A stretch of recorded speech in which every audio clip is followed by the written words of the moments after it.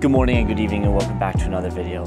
My name is Tavin Zize and recently I just graduated two months ago in December from the University of Wisconsin-Madison with a engineering degree in mechanical engineering. And today I'm going to quickly be going over the note-taking strategy that I used to earn honors distinction in mechanical engineering and graduate within the top 20% of my class with regards to GPA. So let's get into it. Quickly, before I start going into my note-taking strategy, I want to touch on a few things that are actually more important. If you don't go to class and you don't do your homework, it's not possible that you're going to get good grades. Your note-taking strategy doesn't matter. So before you even start thinking about your note-taking strategy and all that, do the most important things first. Go to class, do your homework, do the required work that is necessary in order to get these good grades.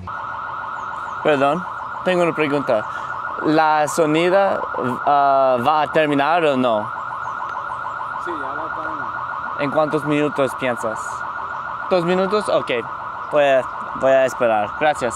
Perfect. There's alarms going off in the background. But since I know you guys didn't come here to listen to me lecture on how to get good grades, you came here to have me explain to you how I took good notes in order to achieve my 3.8 GPA in mechanical engineering. So the number one thing that I tell everyone is you need to take repetitive notes. You need to pick a note strategy that allows you to take notes more than once. Because just writing down some equation or um, some formula one time does not truly help you memorize it or actually learn it. I did this by repeatedly taking my notes. I would take notes once in class and then I would redo my notes after class on the back side. And another thing, always take notes by hand, physically write them out. Just simply taking the slides from the professor and putting them onto your iPad without actually writing anything will not actually help you learn. You're just copying information at that point without even actually having that mind muscle connection of writing it out. So always make sure that you write out your notes. So now you know that, yes, repetitive notes is by far the best way to actually learn information to help you do good in school. But now you might be asking, how did I personally do that? So I'll show you right now on my iPad. So as you can see on my iPad, I have two pages pulled up right now. On the left side right here, I have the actual notes that I took from class. By the way, I watched all of my lectures online, recorded if possible, because it allowed me to actually pause the lecture and write down the information, understand it, because typically engineering professors go way too fast in lecture for you to actually comprehend and digest the information. So I recommend watching online if you're able to and if you're diligent. But like I was saying, on the left side, I have my actual notes. This is how I took my notes.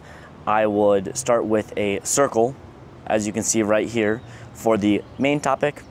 And then under it, I would use little dash lines for the subtopics that come under that main talking point from the lecture.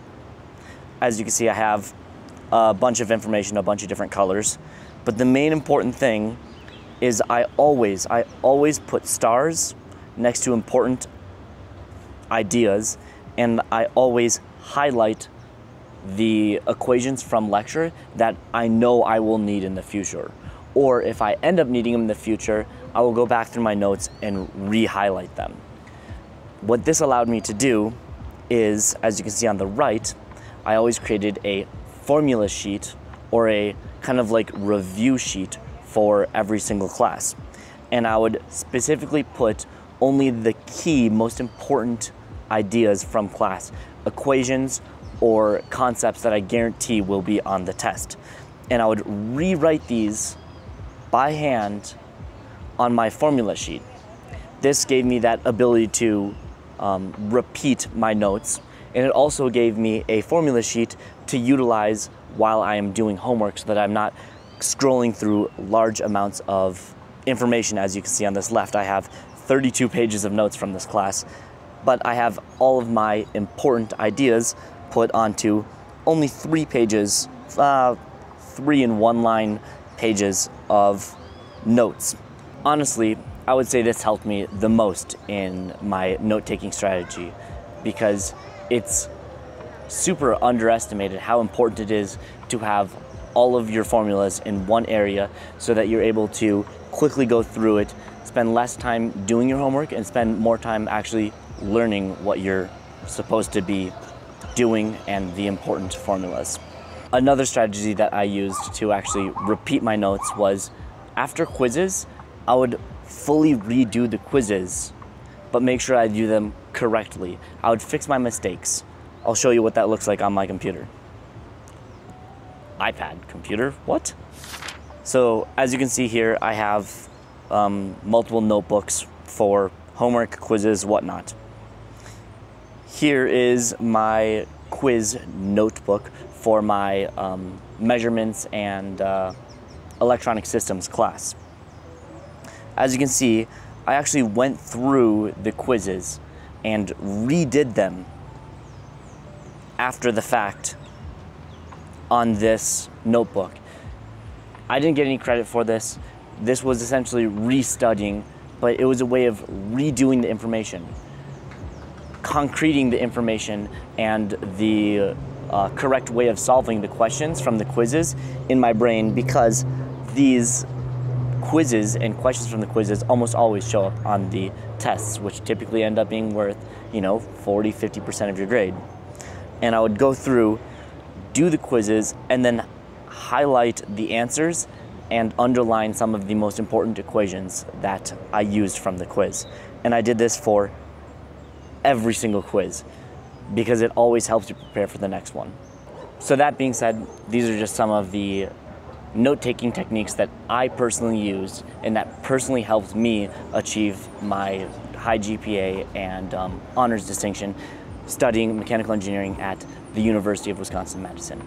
But once again, I want to reiterate that there are other aspects to studying and to university that, that sometimes even have a bigger impact on your total grade, such as the way that you study for tests. So if you would like me to make a video going over my techniques that I use to study for tests while studying mechanical engineering throughout university, leave a comment in the section below and I'll do it.